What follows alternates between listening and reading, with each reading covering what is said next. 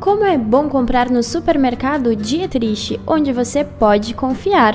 Produtos de qualidade e ótimos preços, carne fresca, pão quentinho e tudo que você e sua família precisam para comer bem, gastando pouco. Você encontra no supermercado Dietrich.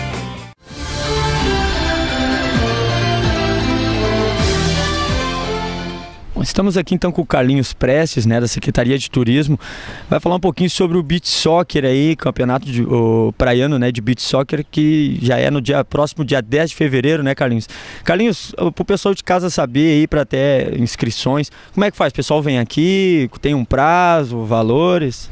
Nós estamos já com as inscrições abertas e as inscrições, Emerson, vão até o dia 6 de fevereiro.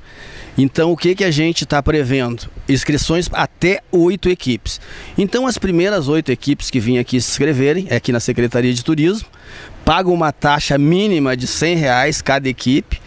Essa taxa vai ser revertida para a equipe que for disputar em Torres. A etapa uh, a etapa estadual. estadual. né? Vai a etapa estadual. Então esses 100 reais, dependendo do número de equipes, vamos supor, deu 8 equipes, são 800 reais. Esses 800 vão ser revertidos para a equipe, para os gastos lá em Torres.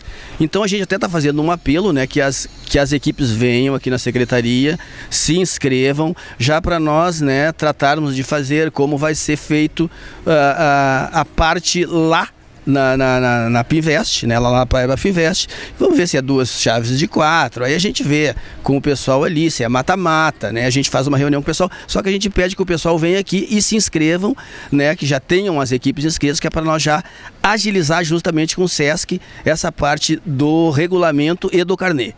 E o, o, o evento é um sucesso, tanto que uma equipe de TAPS o ano passado foi para a final, né? Lá do Praiano na estadual, né? É, realmente a equipe do Piratas representou bastante bonito assim, a, nossa, a nossa cidade aqui. E a gente espera esse ano, né? Pelo que eu estou vendo, aí tem umas equipes aí com, que estão se, se mobilizando bastante, inclusive, né, tem um, tem, um, tem um pessoal de fora também que vem jogar pelas equipes aqui de TAPS. Eu acredito que esse ano de repente TAPS pode trazer o título de Torres. Já tem equipes inscritas já, né? Nós temos até agora, Emerson, duas equipes inscritas. Então nós temos o Nacional Parador Pub e a Lojas TT. São duas equipes inscritas e pagas. Então por isso que nós temos aguardando para o pessoal não deixar para a última hora, porque as primeiras oito inscritas a gente realmente termina com as inscrições.